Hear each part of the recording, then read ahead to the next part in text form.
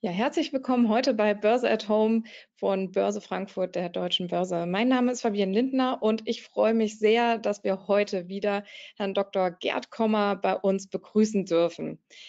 Sie können all Ihre Fragen, die Sie im Laufe der Präsentation an Herrn Kommer haben, gerne stellen.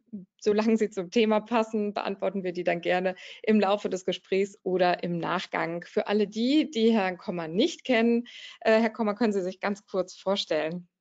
Ja, gerne, Frau Lindner. Also äh, mein Name ist schon gefallen. Äh, ich bin Gründer und Geschäftsführer der Gerd Kommer Invest GmbH, ein Vermögensverwalter mit Sitz in München. Wir betreuen vermögende Privathaushalte aus dem ganz, ganzen deutschsprachigen Raum.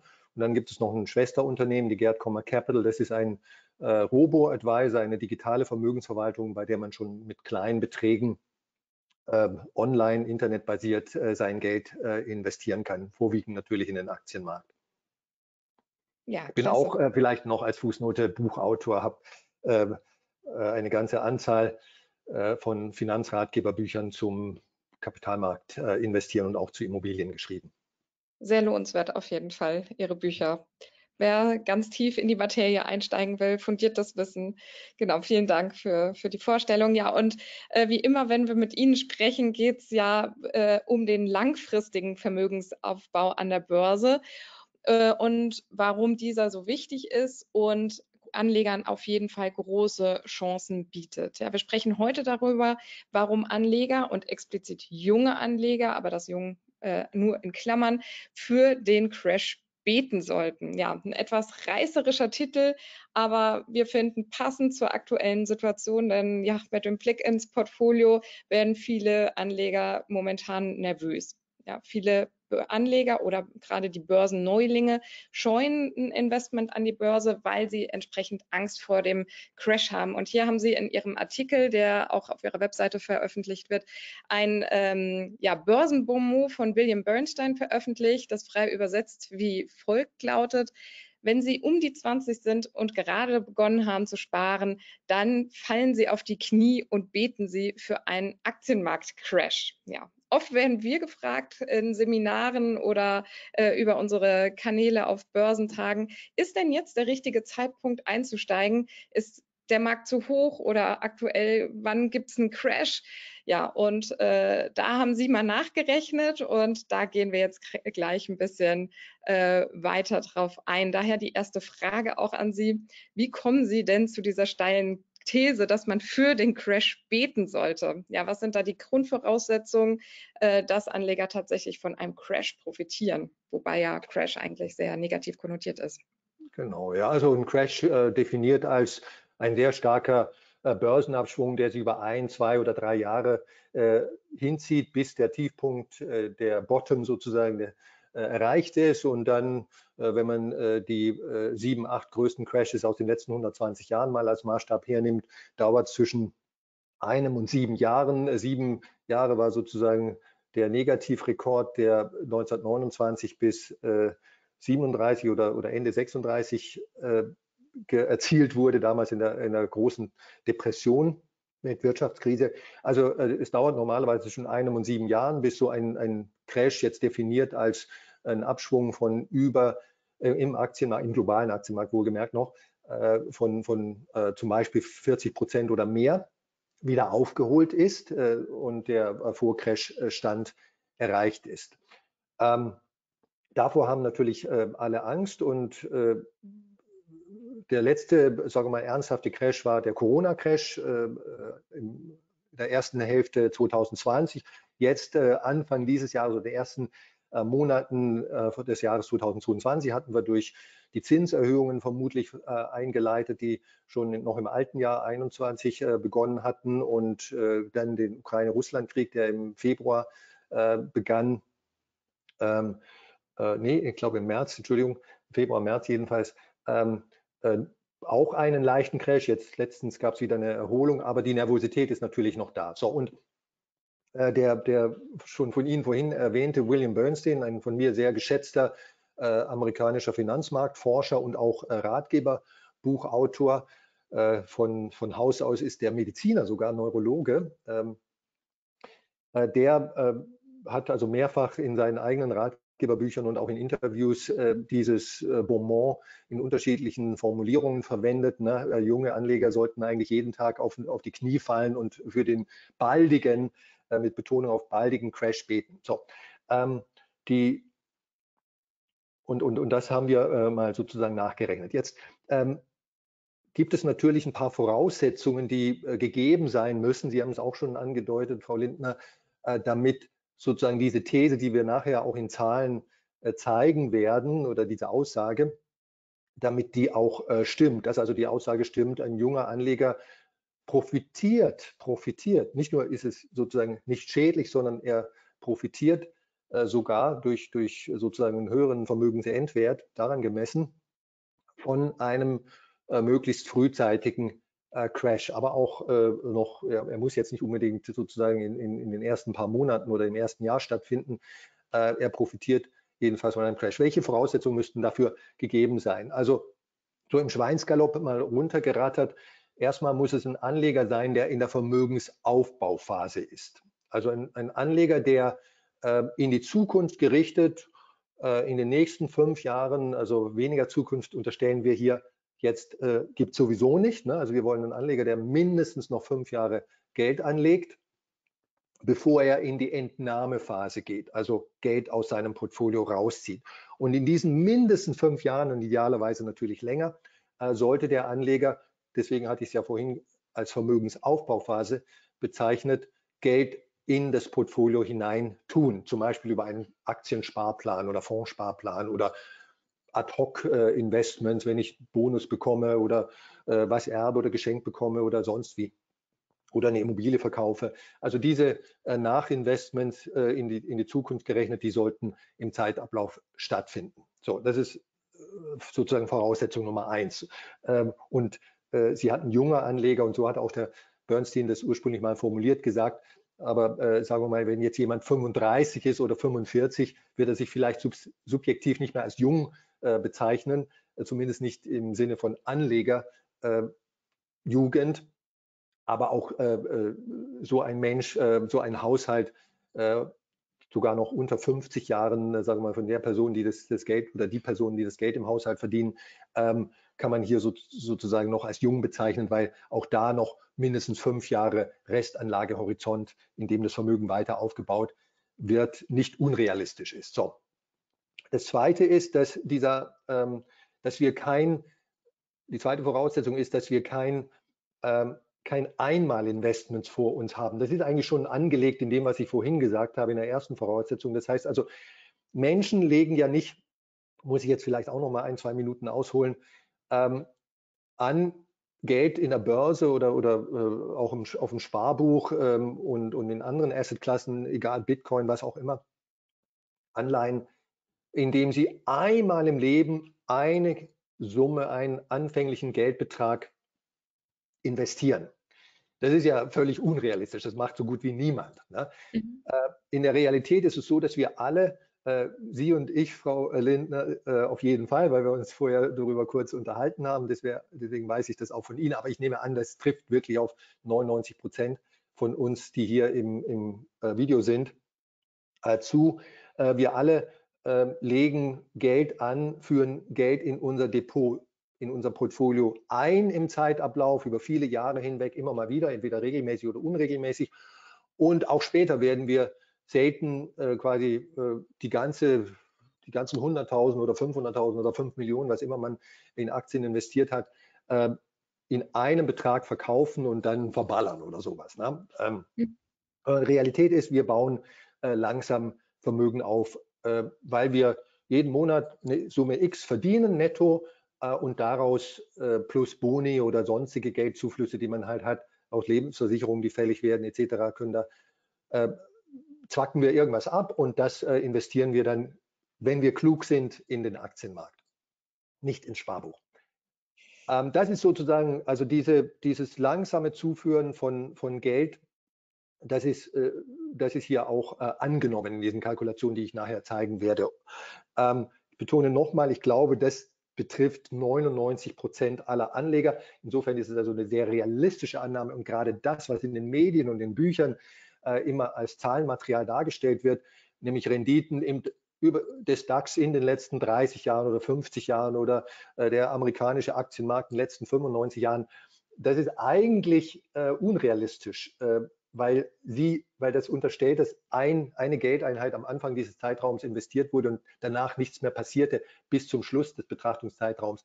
Gebt zu, man kann es nicht mit erträglichem Aufwand äh, in, in, in, den Medien anders darstellen, aber streng genommen ist es ist das, was wir gemacht haben ähm, in unserer Untersuchung viel realistischer. So. Mhm.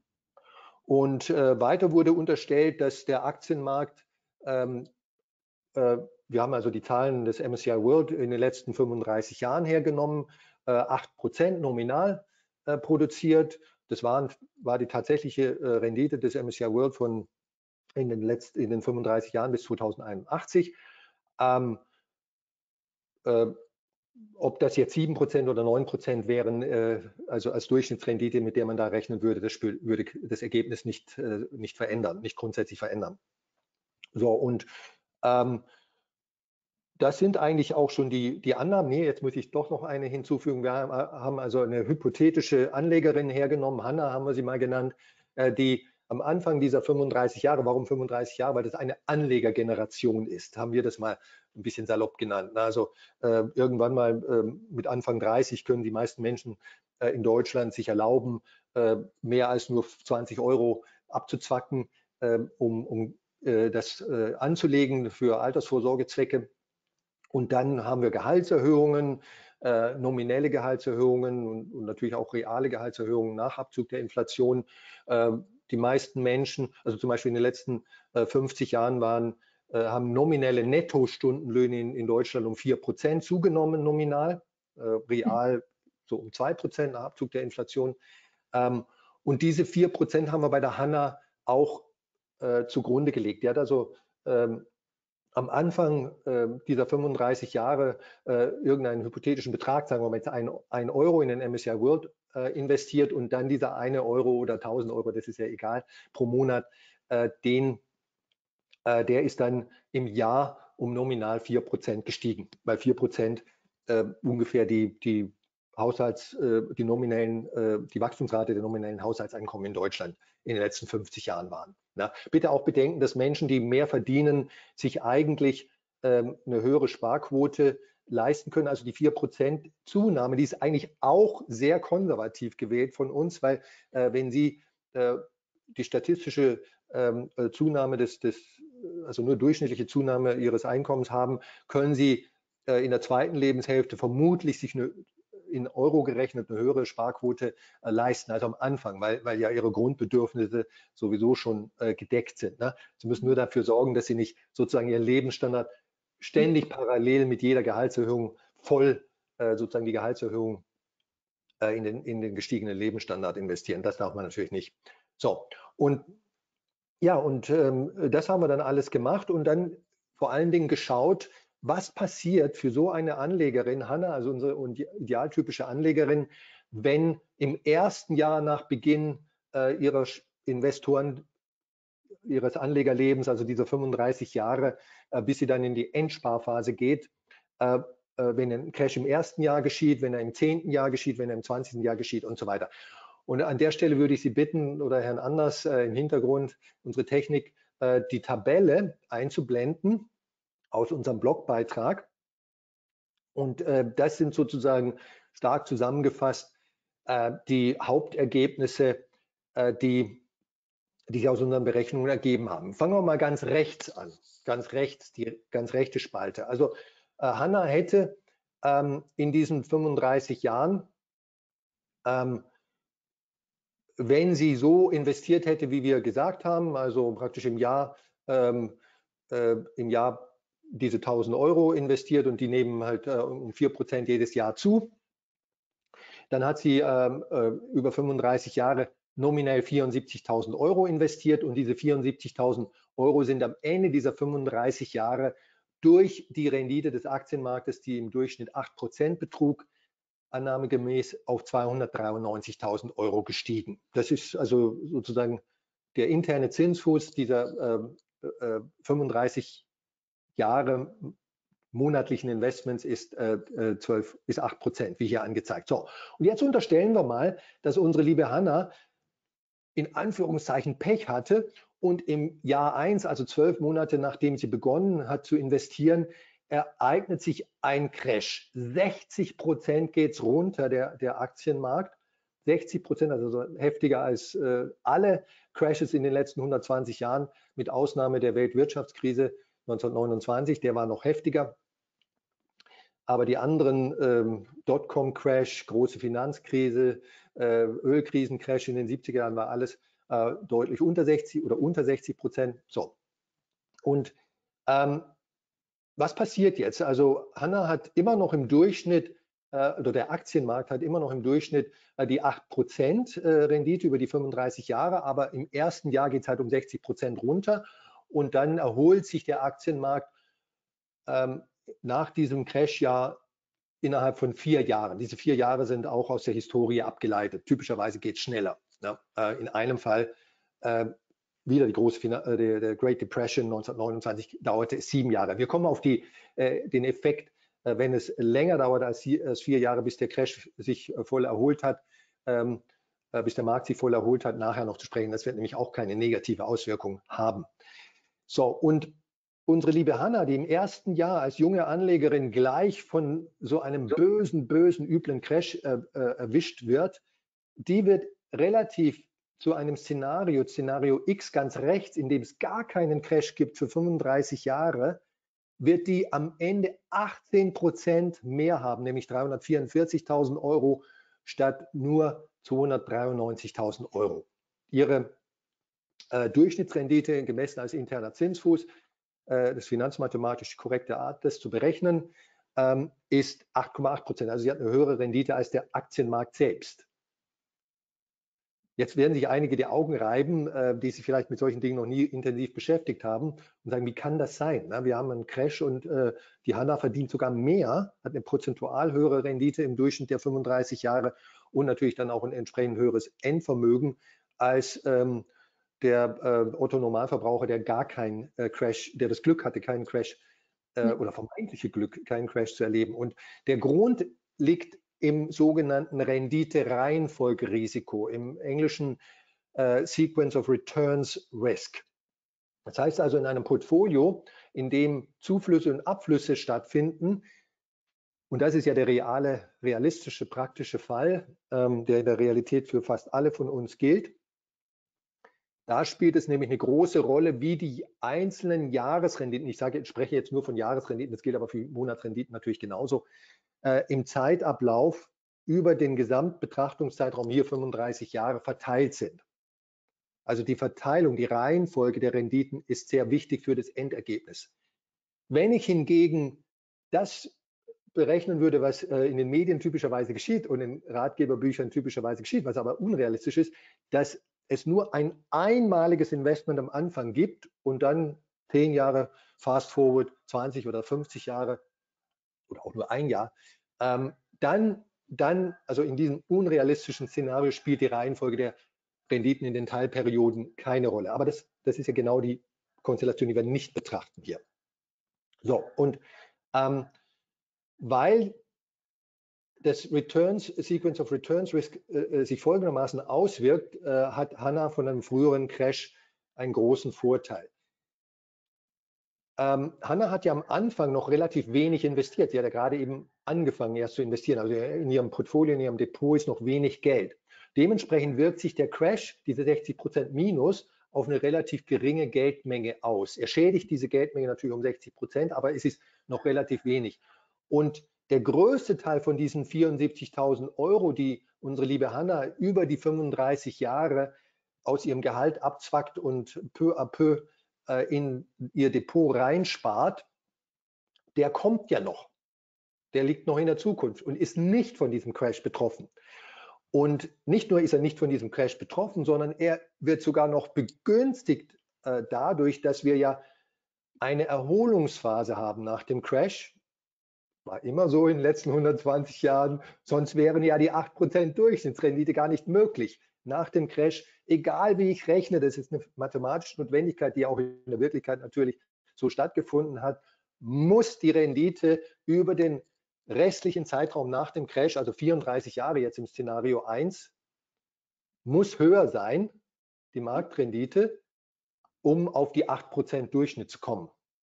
Ja, also wenn ich im ersten Jahr minus 60% habe, brauche ich natürlich äh, in den restlichen 34 Jahren, egal wie ich zusammenstöpsele, insgesamt äh, im Schnitt eine höhere Rendite. Wir haben hier unterstellt, dass sich der Crash ähm, innerhalb von vier Jahren sozusagen wieder, äh, wieder äh, eliminiert oder die Erholungsphase nur vier Jahre dauert. Also dass in den vier Jahren danach äh, im, im Mittel so eine Rendite von 35, 36 Prozent ist per annum verdurchschnittlich. Ähm, und dann haben wir wieder äh, eine durchschnittliche Rendite, die etwas über 8 äh, die, die genau 8 Prozent liegt. Aber ich sage Ihnen, es spielt keine Rolle, ob Sie jetzt sieben Jahre äh, zur Erholung zugrunde legen, das tun wir nachher noch ganz kurz im Schnelldurchgang, äh, ob Sie äh, 13 Jahre brauchen bis zur Erholung oder, äh, oder eine gleichmäßige Erholung über den restlichen Zeitraum spielt keine Rolle. Also ähm, so und das Geld, was also unsere Hanna eben später investiert, das wird sozusagen bevorteilt, begünstigt durch die höhere Rendite, äh, die es erlebt aufgrund der Erholungsphase.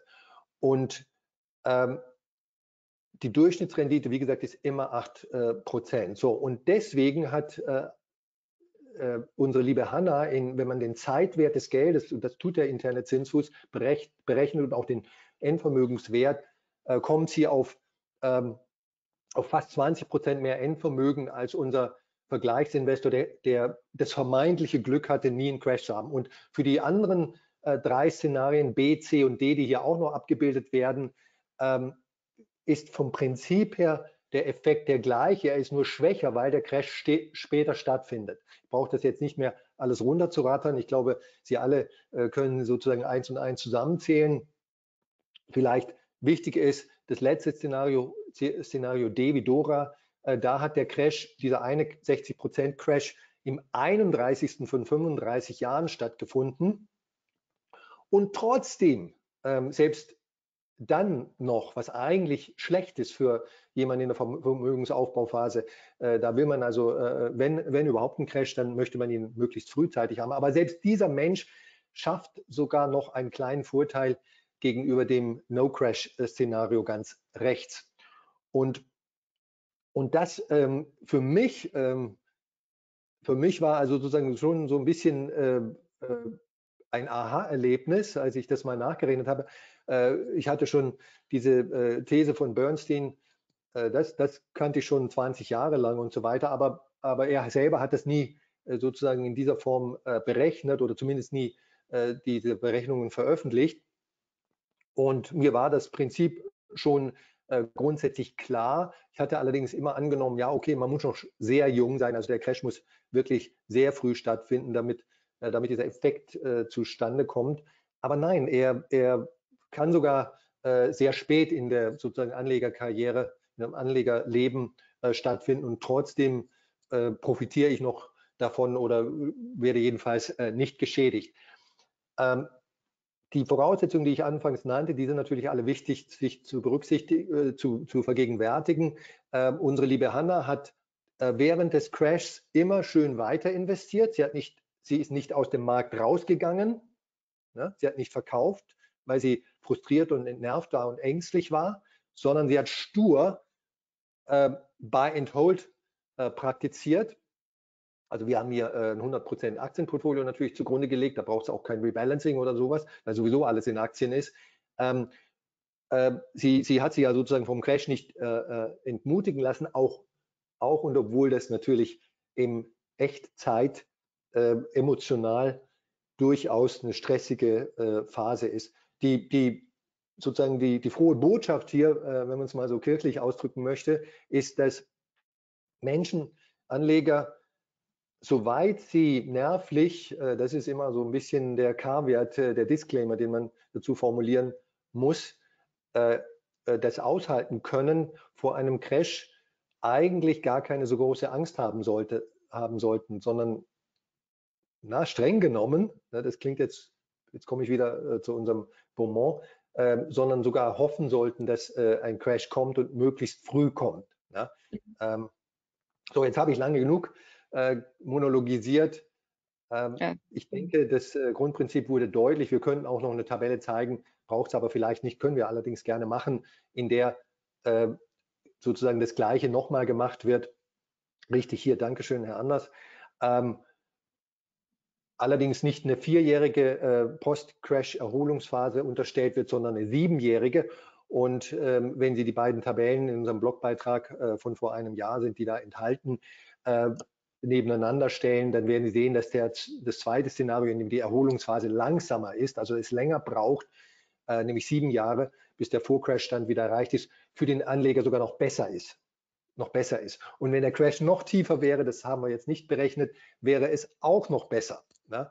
Also äh, und äh, ich persönlich bin der Meinung, die, die, das ist mir das Wichtigste an diesen Zahlen, dass wir hier nicht irgendwie ein, ein theoretisches Wolkenkuckucksheim nachgerechnet haben, das in der Realität nie passieren wird, weil Menschen einfach anders sind. Nein, das, das ist meines Erachtens ähm, unter der Prämisse, dass man äh, die Dinge vereinfachen muss und nicht äh, 60 oder 80 Millionen, so viele Menschen gibt es in Deutschland, Einzelfälle rechnet, äh, ist das äh, insgesamt eine sehr realistische äh, Betrachtungsweise, die wir hier angestellt haben. Ja, vielen Dank für die super spannenden Ausführungen. Ich denke, wichtig ist noch zu sagen, dass man im Crash dann entsprechend ja auf jeden Fall investiert bleiben muss, weil das äh, sehen wir ja auch häufig, dass äh, Panik ausbricht und man denkt, man muss jetzt unbedingt aktiv werden. Vielleicht können Sie da ganz kurz noch ein paar Worte zu sagen. Genau, also die haben da den Nagel auf den, auf den Kopf getroffen. Ähm, sagen wir mal, äh, ein Excel-Spreadsheet ist halt das eine ähm, äh, und ein sozusagen diese äh, roten Zahlen im eigenen Depot. Wir alle äh, werden wahrscheinlich solche Anleger sein, die äh, ständig äh, der Versuchung nicht widerstehen können äh, und äh, täglich oder, oder wöchentlich in ihr Depot reinschauen und dann kommt so ein Crash. Wir haben ja so einen ganz kleinen Crash gehabt seit Anfang dieses Jahres und die vollständige Erholung hat noch nicht stattgefunden ähm, im Aktienmarkt dann sieht man die roten Zahlen und so weiter. Und, und ganz schlimm ist es für diejenigen, die halt kurz vorher angefangen haben zu investieren äh, äh, in Echtzeit und fühlt sich wirklich bescheiden dabei. Ne? Also ähm, das geht mir so und das geht jedem so. Der, der behauptet, es äh, würde ihm nichts ausmachen, mm, die meisten davon sind so ein bisschen Lügner. Also äh, Entschuldigung. Ähm, jedem macht es was aus, wenn er ähm, am Monatsende weniger Geld im Portfolio, im Depot hat als am Mon Monatsbeginn. Und wenn sich sowas über zwei Monate, zwölf Monate, äh, in der großen Finanzkrise waren es über zwei Jahre, also knapp zwei Jahre, glaube ich, in der äh, Dotcom-Krise waren es äh, äh, über zwei Jahre, äh, hinzieht, dieser Drawdown, dieser, dieser Abschwung, dann wird das sehr, sehr, sehr unangenehm. Und ähm, die Forschung hat eben auch gezeigt, das ist jetzt sozusagen nur eine kleine Abweichung von, aber äh, schlussendlich dann doch wieder das gleiche Thema äh, von unserer Berechnung, dass äh, die Menschen, die halt glauben, ähm, sie könnten einen Crash zuverlässig genug äh, äh, vorhersehen oder prognostizieren oder Beginn des Crashes, den, den Marktboden, den Bottom relativ zuverlässig erkennen und rechtzeitig wieder einsteigen, nicht Fuß, äh, nicht äh, wichtig jetzt zu spät wieder einsteigen, das ist nämlich schädlich. Ähm, äh, das, äh, da gibt es wenig Evidenz äh, dafür, dass das äh, vielen Menschen oder der Mehrheit der Anleger gelingt. es gibt hingegen viel Evidenz dafür, dass es eben der Mehrheit der Anleger nicht gelingt. Und wenn Sie sich zu dieser Mehrheit zählen, die jetzt nicht den, sozusagen die Kristallkugel haben und, und ähm, glauben sie, äh, sie, sie sind die, die besten äh, der äh, die besten aller, aller Anleger, dann sind sie mit Buy and Hold und diesem sturen, einfachen mechanischen Ansatz, äh, der hier sozusagen zugrunde gelegt wird, äh, besser bedient. Und äh, sie werden sie werden die Marktrendite abzüglich äh, Steuern und Kosten äh, verdienen. Mit ETFs kann man die Kosten denkbar niedrig halten, also kaum noch unterbietbar niedrig halten, zumindest wenn man ein, ein diversifiziertes Portfolio zugrunde legt als, als Vergleich. Ähm, und auch steuerlich haben, hat Buy and Hold, das haben wir auch mal in einem Blogbeitrag gezeigt, äh, Vorteile, äh, weil man einfach Gewinne äh, später realisiert und damit auch Steuerliquidität später abfließt. Und mit dieser Steuerliquidität äh, kann ich ja weiter arbeiten. Also äh, beziehungsweise der, der äh, sie abfließen sieht, weil er ständig verkauft, Gewinne realisiert, der kann halt nicht mehr damit arbeiten. Ich als Buy-and-Hold-Anleger kann noch damit arbeiten. Und das ist der, äh, der häufig übersehene Vorteil von, steuerliche Vorteil von Buy-and-Hold. Ähm, also Vielleicht so ein bisschen als Fazit äh, und, und, wir können gerne äh, natürlich Fragen, sofern welche äh, da sind, äh, beantworten.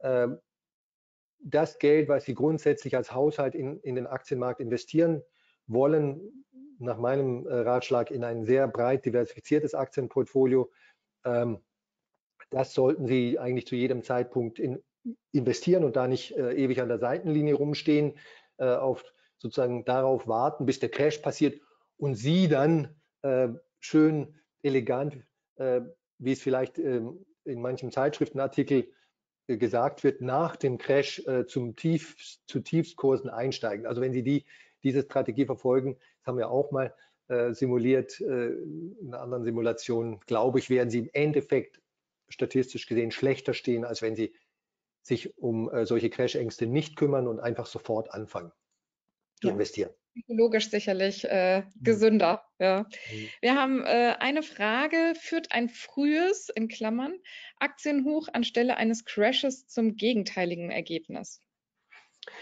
Ja, gute Frage. Also ähm, Aktienhochs oder, oder sogenannte Allzeithochs, All-Time-Highs, äh, die haben wir auch mal äh, un untersucht. Also äh, die werden sehr häufig missverstanden. Also im Allgemeinen wird dieser Begriff, der wird ja sehr häufig verwendet, wird wahrscheinlich keinen Tag vorbeigehen, in dem nicht irgendwo äh, äh, die Anlageklasse X oder Y oder Z äh, erwähnt wird im Kontext von, von Allzeithoch oder auch einzelne Aktien.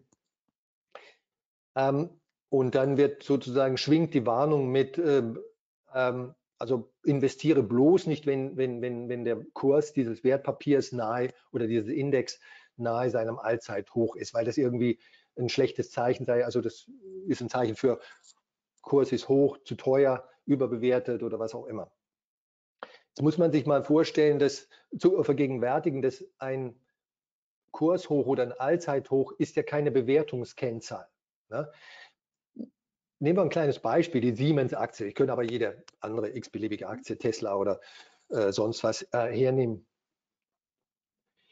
Äh, und unterstellen wir jetzt mal, dass Siemens, äh, die Siemens Aktie ist schon uralt, gab es schon vor dem Ersten Weltkrieg, vor dem Zweiten Weltkrieg, ähm, nur eine Rendite hat von einem Prozent. Ein Prozent. Das ist ja lächerlich niedrig für den Aktienmarkt. Ne? Ähm, also nur pleite äh, Aktien sozusagen haben, haben, so niedrige Renditen. Ähm, in Wirklichkeit hatte Siemens über die letzten 50 Jahre wahrscheinlich auch eher so 8 Prozent oder, oder was auch immer. Hm? Weiß ich jetzt nicht, das war, das war jetzt nur geraten. Ähm, dann, aber, aber diese 1% wären relativ konstant. Also das, das äh, so, so, sozusagen wie beim Sparbuch. Ne? Da, da schwankt jetzt nicht viel. Dann würde ja die Siemens-Aktie trotz einer mickrigen Rendite ständig neue Allzeithochs erklimmen. Ne? Das, da braucht man jetzt kein Mathe-Professor sein, um das zu sehen. Ähm, jetzt nehmen wir mal an, Sie, die Siemens-Gewinne nehmen ganz normal zu, so wie sie tatsächlich zugenommen haben in den letzten 50 Jahren, so um im Schnitt 3, 4, 5 Prozent pro Jahr. Ja, hm. also äh, so wie das äh, Wirtschaftswachstum in Deutschland ist, vielleicht sogar noch mehr, etwas mehr. Und aber der Aktienkurs ist nur um ein Prozent gestiegen. Die Gewinne von Siemens sind aber vier Prozent gestiegen im Durchschnitt auf lange Sicht. Dann wird ja die Siemens-Aktie immer billiger, also im Sinne des Kurs-Gewinn-Verhältnisses. Das heißt also, ähm, die, die, die Cashflows und Gewinne steigen schneller als der Aktienkurs.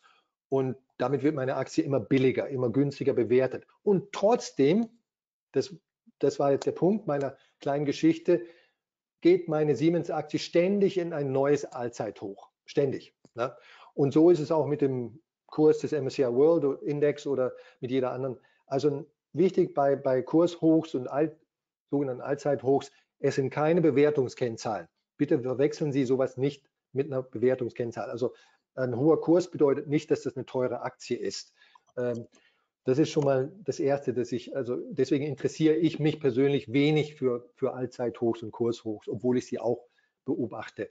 Also das war jetzt wieder eine lange Antwort. Die kurze Version davon ist, nein, ähm, im Prinzip haben äh, solche Allzeithochs oder Kurshochs äh, keine äh, Relevanz für das, was ich hier gesagt habe. Okay, super. Vielen Dank. Wunderbar. Ähm, es gab noch eine Frage, da würde ich sagen, das ist ein super Aufhänger für unser nächstes Webinar. Ähm, Herr Kommer, Ihre Schlussworte zu unserem heutigen Thema für unsere Zuhörer, Zuschauer.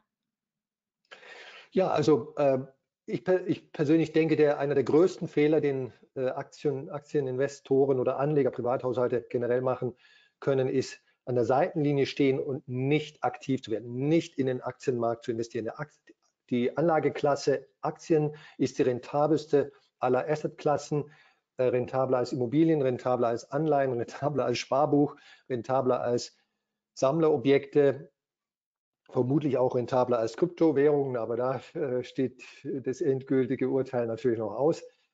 Ähm, und wenn man sich vorstellt, dass die gesetzliche Rente und, und die sonstigen Vermögen von vielen Menschen nicht ausreichen werden, äh, um äh, ihren Lebensstandard im Alter äh, zu gewährleisten, also keine Einschränkung des Lebensstandards, wenn man da mal in Rente geht, akzeptieren zu müssen. Das will ja keiner, ich auch nicht. Dann muss man eigentlich in den Aktienmarkt investieren. Nicht sein gesamtes Vermögen, aber zumindest etwas mehr als ein oder zwei Prozent dieses Vermögens. Und die, die Message heute, das wäre sozusagen das, äh, was, ich, was ich rüberbringen möchte zum Schluss, ist, bitte lassen Sie sich nicht von der Angst vor einem Crash, äh, kurzfristigen Crash, äh, kirre machen oder, oder äh, dazu verleiten, zu zögern und an der Seitenlinie stehen zu bleiben, äh, in der vermeintlichen, in der meines Erachtens für nahezu alle, äh, es gibt von allen natürlich Ausnahmen, aber für, für den allergrößten Teil von uns äh, illusionären Hoffnung, dass man den optimalen Zeitpunkt sozusagen äh, gut abtimen, ver, verlässlich äh, timen könnte. Und fangen Sie einfach jetzt an. Und wenn Sie es nicht übers Herz kriegen, ähm, sozusagen Ihre, Ihre 50.000 Euro oder was immer der, die Zahl ist und wenn es auch nur 5.000 Euro sind, ähm, jetzt äh, voll in den Aktienmarkt zu investieren, dann fassen Sie sich den Mut und machen Sie es wenigstens über ein, zwei, drei Jahre verteilt. Da sagen Sie einfach, äh, ich äh, habe 50.000 Euro und äh, ich habe jetzt, werde diese 50.000 Euro in meinem Beispiel über drei Jahre verteilt, in jedem Quartal, äh, drei Jahre sind zwölf Quartale, ähm, in jedem Quartal investiere ich mechanisch und stur, diszipliniert ähm, ein Zwölftel von meinen 50.000 Euro und am Ende der drei Jahre bin ich voll investiert. Und, und irgendwie so, also so, so, ein, so ein schrittweiser Einstieg, ähm, äh, der, äh, der ist besser als gar kein Einstieg. Ich persönlich würde die 50.000 Euro sofort investieren, sage das aber jetzt mit allem Bedacht. Äh, ich kann die Zukunft auch nicht prognostizieren. Ähm, aber eins von den beiden, entweder sofort alles oder Phaseneinstieg, wie, wie gerade beispielhaft beschrieben, das sollten Sie tun.